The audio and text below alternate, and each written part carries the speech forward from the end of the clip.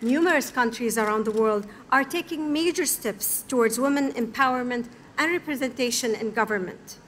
In the UAE, the number of female parliament members has increased from 22% to 50% over the past few years, representing the most improved country globally.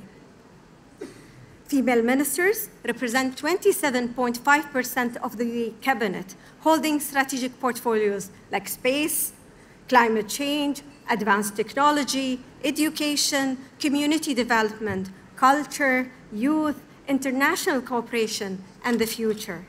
And we continue to aspire for more.